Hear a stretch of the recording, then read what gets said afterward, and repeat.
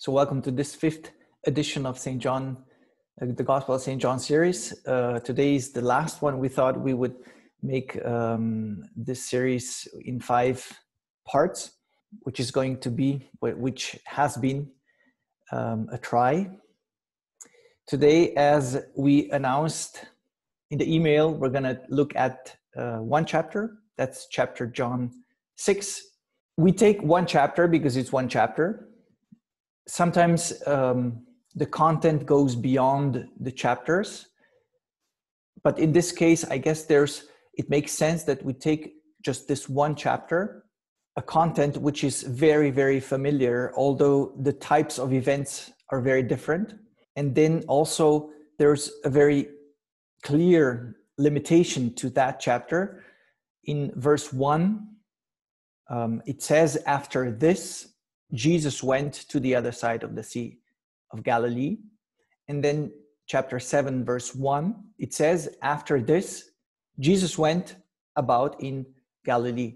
So we have the very first verse of the chapters 6 and 7, which pretty much use the same, the same words, which gives, of course, a limitation from the author so that we see okay that's a framework a geographical framework, so to say. And then chapter five, which is just before um, chapter six, is happening in Galilee. And then chapter seven is happening at the festival of the tabernacles. So we have two very different types of events, whereas the, the six is just one entity. Although it doesn't seem like one big thing, precisely as I said, because there's so diverse um, things within that that chapter. So what do we have there? It's quite easy. If you open the bible you can see we have the first one jesus feeds the 5000 men. The second one jesus walks on the water. The third one jesus has a discourse on bread from heaven. And then the fourth one the words of eternal life. So we have kind of four parts that would be the general or the typical way how the, your Bible, our Bibles divide um, the text, the, the chapter. We're not scholars, so we'll just keep that division to so so that it helps us go through the text. The chapter has the big questions. Nothing very new to St. John. There is a question of belief or not belief, life and death, and then there's i would say an interesting um, relationship between the individual so i believe in jesus and the community aspect um, especially with the multiplication of the bread which we kind of have the the context of a meal gathered around jesus. And then of course we have and that would be the subject the theme of john 6 the bread as the symbol of the food, which then is, well, Jesus goes on when talking about the bread. He goes on to the flesh and the blood. Before we we we kind of break down the chapter, um, I always give a little elements on, you know, how to better um, how to write, how to better read the the Gospels um, I was talking about the Christology, the way how the Gospels present the person of Jesus Christ. That's one aspect, but there's also another aspect. How do the Gospels present the person of the Holy Spirit? Finally, you could go on with the presentation of God the Father in the texts. That would be also a, a possibility. John is somewhat specific, as um, is often the case, because he can uh, I'm sorry, he insists in the, on the point of the Holy Spirit. So he insists that in order for us to fully understand his message, his words, we need an intervention of the Holy Spirit. And he gives a promise. So he says, These are my words, but comes a moment when the Holy Spirit will be given to you, and then you will understand. That would be kind of a, a, um, a resume. Um, so that we would fully understand. There is a big um, role, a big place of the Holy Spirit in the text that's unique in the Gospels. No other Gospel gives such a big role, such a big place, and such a big hope to um, receive the Holy Spirit, which is understandable because John is the latest text out of the four.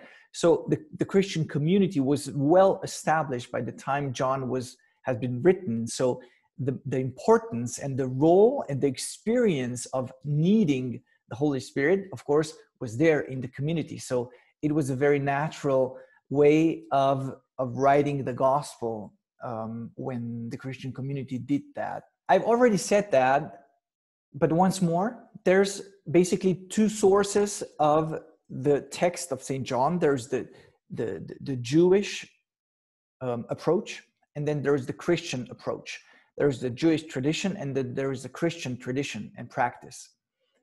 Um, both are present and both are, are important. And in the case of John 6, those two really need to be thought together at the same time because if we don't do that, we will surely read it wrongly or it, we won't get the real message uh, which was written by John and the Christian community who wrote the text. Why is that? Well, because John the sixth, John six, especially the, the second part where Jesus is giving his big big uh, speech, and then dialogues follow. Well, there's words or there's phrases or there's way of talking which has been somewhat debated in the history among the Christians. The the fact that we have to keep in mind both sources jewish and christian is very important. That's the way how we the catholics read accept and pray with um, the gospels in general but i would say especially john 6 it is that we do both we take one and another and not one or another that's a, a very little thing, a very little element from the history of the church. Um, 16th century, there was a Council of Trent as an as a response to the Luther and, and companions doing the Reformation, and the Council of Trent also talked about John 6. There was a question whether we should read Jesus' words in a realistic sense or in a spiritual sense. A realistic sense would be the sacramental sense, so when for example jesus says this is my flesh or if you don't eat my flesh and drink my blood. So the realistic approach or understanding would be jesus is talking about the sacrament because he says flesh. On the other hand the other option would be the spiritual sense where the words flesh and blood are not taken as a eucharist but as a, a paschal sacrifice of Jesus Christ on the cross, where we have flesh and blood and ultimately the death of Jesus Christ. And so the Council of Trent asked the question to the participants whether we should read John, the, John 6 and specifically those verses around, you know, from 51 and on in a realistic sense or a spiritual sense. The, the Council of Trent had 61 participants 13 of them abstained voting, so they, they, they didn't give a vote. 19 voted for sacramental sense, nine voted for spiritual sense, but 21, that's the majority, voted for the two together.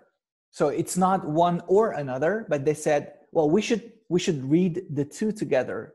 So at the same time, we read the realistic sense which would lead to the sacrament of the Eucharist, and the spiritual sense, which leads to the sacrifice of Jesus Christ on the cross together with his resurrection. And basically that would be that would be in one word, in one phrase or a few phrases, um, my point for for today. That's why that's what I suggest, though, that, uh, or uh, I'd like to underline um, that we that's how we have to read John 6. The two together and not one or another. So let's walk through the four parts. I'll especially look at three parts and not on the, um, especially on two parts, I would say, and not the two other ones, but you'll see.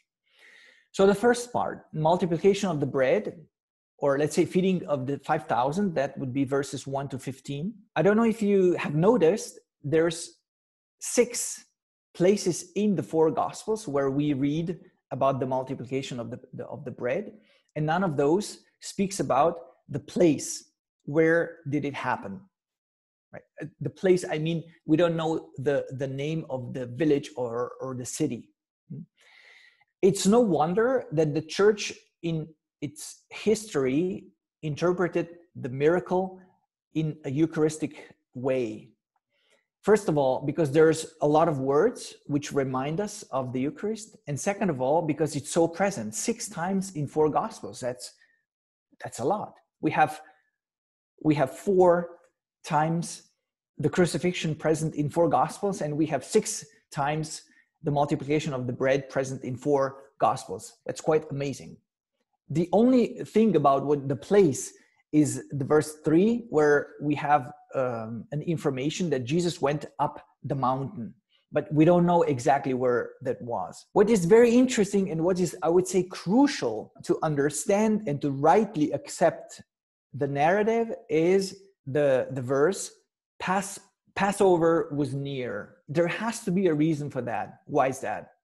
First of all because passover needs to happen in jerusalem there's no Passover outside of Jerusalem, whereas the text says Jesus went on the mountain.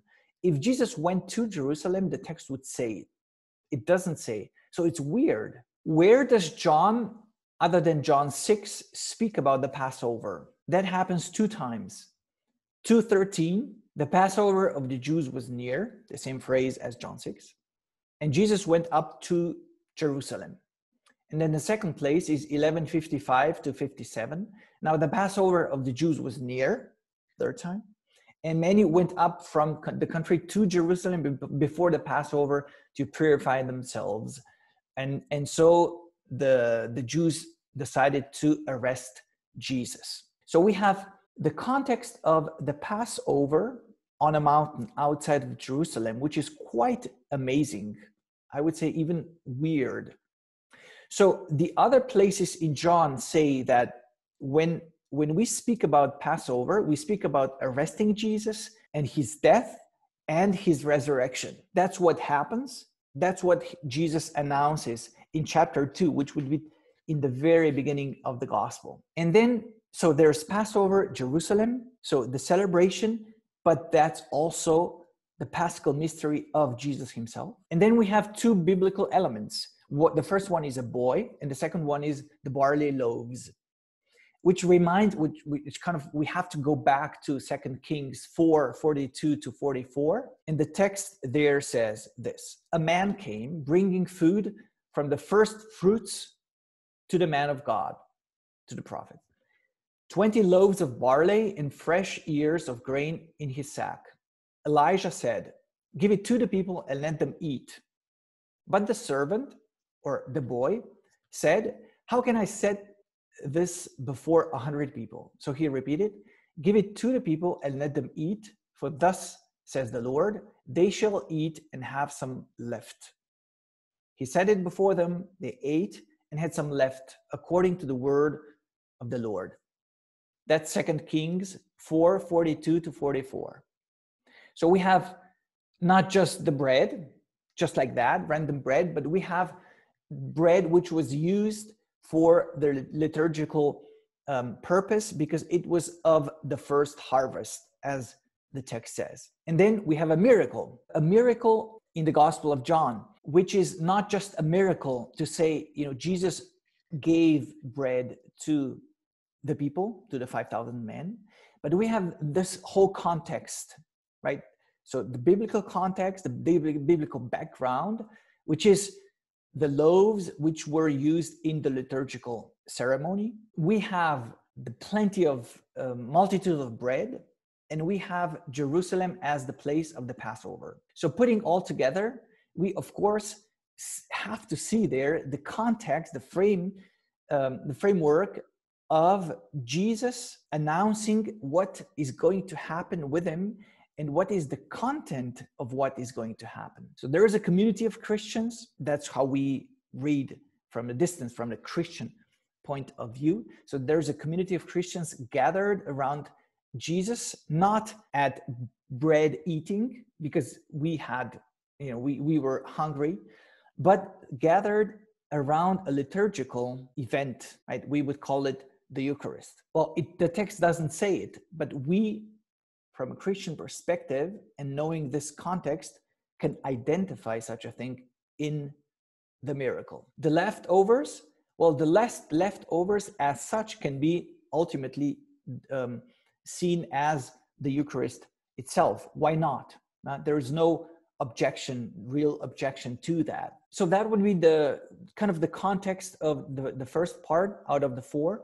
The second part, Jesus walks on the water, verses 16 to 21. Why don't you concentrate to the separation between Jesus and disciples and see how the separation is dramatic and has bad consequences? And then second of all, notice that it's going it's happening on on the sea, which you know, traditionally with within the Jewish context is the place of the evil. So the, the water of the ocean is always the place of the demons, the, the, the evil. So if you are in the ocean, you are among the demons, which means you are in the death. You this leads to the death. If Jesus is separated from the disciples, well, this leads to to death. But of course, Jesus saves the whole situation. He he goes to the disciples and he he he's not separated anymore. And all of a sudden, the verse 21 well they appear to be on the shore which physically spoken spoken is not mm, very probable to you know just jump from the middle of the sea to the shore in you know one single moment then we have the third um, the third part which is the major part and which is basically the the most famous um, that's the jesus's talk um, in the Capernaum. Let's just go through verse 23, a very interesting introduction, which at the same time is a conclu- um, uh, not a conclusion, but um, sum up. It sums up the whole um, the whole vision of you know, what is the context of this whole chapter. Verse 23 says, Then some boats from Tiberias came near the place where they had eaten the bread after the Lord had given thanks. It's just a narrative, but at the same time, we have three key words, which for a Christian are the most important words for a certain thing. And those words are bread, Lord, thanks. That you gotta think about the Eucharist even more because when the text says thanks, it uses the, the verb eucharisto, which means thanks, but that's also the verb which gave the word Eucharist, or which gave the name Eucharist to the liturgical celebration of the Christians. So this whole context, you know, starting at at the multiplication of the of the of the bread, which already had a liturgical context, coming to the very beginning, to the very beginning of you know now Jesus is going to speak. It's all about kind of the Eucharist. So we have a definition. This is going to happen in Capernaum. The major thing themes are, um, of course, the bread, the bread of life, which came from heaven in the First Testament,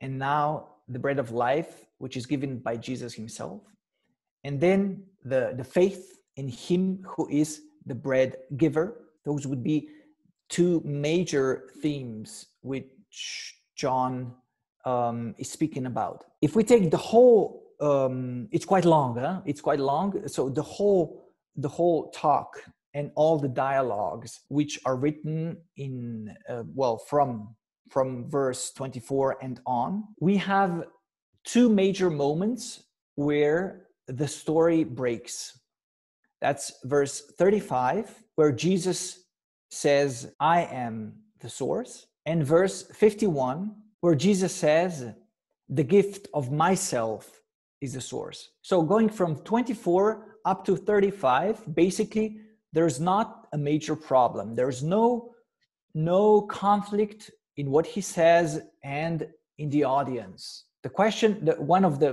kind of major question questions is the sign, the type of, um, sorry, the, the question of the, the sign. What type of the sign will Jesus give?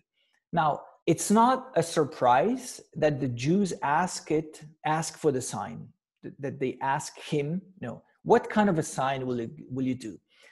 Moses did the same thing. Jew, the, the Hebrews came to him and the Lord says, um, I'm taking an example of Exodus 16, 4 and 15. Very concretely, um, 16, 4 says, Then the Lord says to, said to Moses, I am going to rain bread from heaven for you, and each day the people shall go out and gather enough for that day. So that was the announcement of God giving a sign. And so the, the Jews said, Well, Moses was the man of God.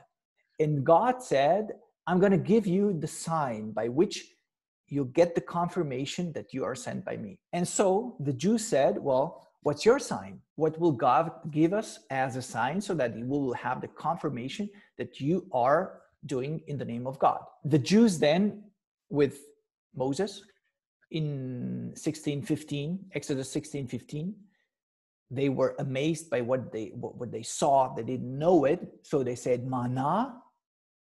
I, I don't know. I didn't check what, what was the exact word in Hebrew, but more or less it's manna, um, which means what's that? It's it was a surprise. It, they didn't know what it was. So that's where we get manna. Um, manna basically is what is that? And of course, it was the gift of God. It was the sign of God which was a confirmation that Moses was sent and at the same time was a physical sign for the people that God is taking care about their lives and then also becomes a very important um, symbol of the word of God feeding the spiritual need of the people. That's all the Jewish tradition up to Jesus. Now, when Jesus says, uh, speaks about manna, speaks about the bread, well, he speaks about the bread, but that's, of course, manna. He is not only making an allusion of a historical element or event, but he is stepping into the present, present, you know, the present moment. So it is now that God gives you all that you need.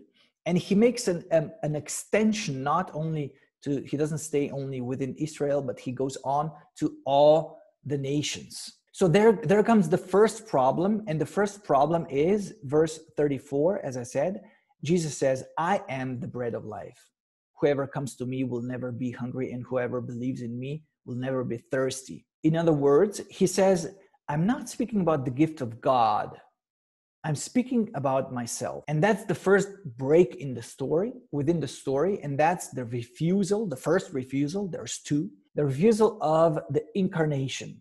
So the Jews, they don't accept that the same God which gave manna and which was a sign of the fact that God is taking care of their lives, they don't accept the fact that now the same God is behind uh, is is behind, uh, is in front of them making kind of the same intervention but way more important the story goes on and it leads to the verse 51 which is kind of the second problem and leads to the second refusal from the part of Jews. The verse 51 says, Whoever eats of this bread will live forever, and the bread that I will give for the life of the world is my flesh. So there comes the, the famous word flesh, and then later on comes also the word blood, which makes a question: Is this is this uh, real? Is this is this reading real? Do we really need to read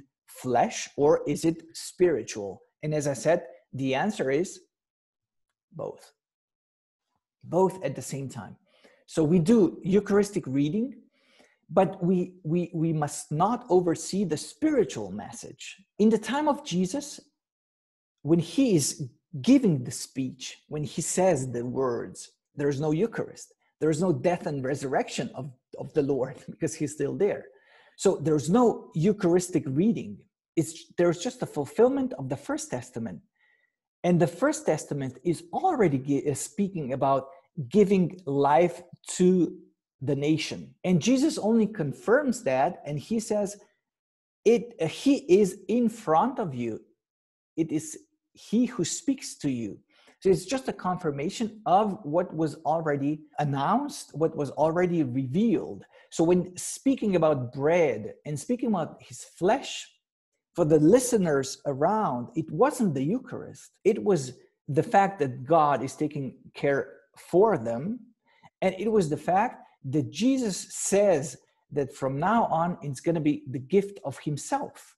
And of course, the gift of himself is the death on the cross. Now, we as, as Christians, we also have the Christian and so the Eucharistic perspective. And so we can also read in the flesh and the blood the Eucharist. But within, in doing that, we also read, of course, this announcement of God taking care of us and God giving life so that we would have life. So there's there's a clear link between the faith and the sacramental practice. So there's a danger to say when Jesus says flesh, flesh and blood, it's the Eucharist. Well, it is the Eucharist, but what's the spiritual behind?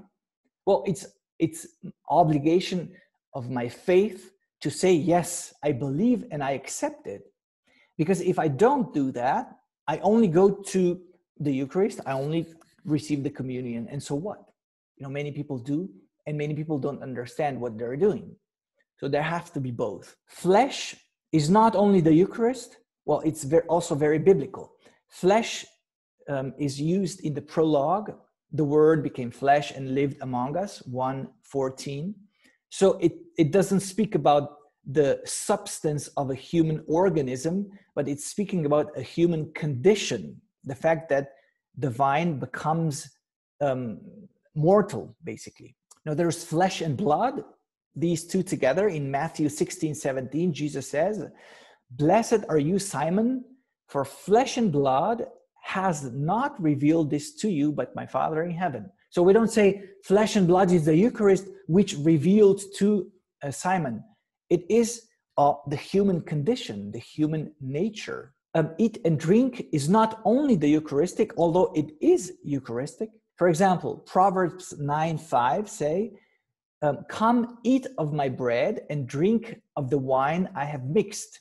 The one who's speaking is the wisdom. Have the, the wisdom as the word of God, the word which is giving to the people to which we have the access. And if, if the wisdom says, Come eat, come drink, that means that we do a decision of faith coming to the Lord, which is giving Himself to us. So to eat and drink means to accept the gift of God. As I said, 51, especially see the last part of the verse 51, there is a second problem. Yeah, the second problem, and and the problem is that is, is it possible that salvation comes from the gift of self, the gift of, of self of a person? So the Jews refuse that. So they refuse not only the incarnation as the ultimate revelation of God, but they also refuse the paschal mystery of Jesus as the source of life for ourselves. So the ultimate revelation of John 6, then I have to kind of go towards the conclusion, is that alliance promised by God is realized in Jesus Christ. The manna, which was given in the desert, and then the law, which was given on the mount um, is, are only figures which announce the true food given in Jesus and in the gift of Himself, so that our passage from the death into life would be realized. Conclusion Christian community celebrating the liturgy doesn't separate the two senses of John 6. Every liturgical act is an expression of faith in Jesus and of in faith of uh, in his gift in the gift of himself, which gives us the possibility to enter into the communion. The communion is not only an image, it's not only an idea, it's not only an, an act of a decision, a mental decision, but it's a liturgy. It's an experience of the liturgy. So I would say it seems extremely difficult not to identify the Eucharistic practice in John 6 at the same time, the Eucharistic practice would be completely in vain if it wouldn't be filled with the faith in Jesus' mystery, to which the text invites.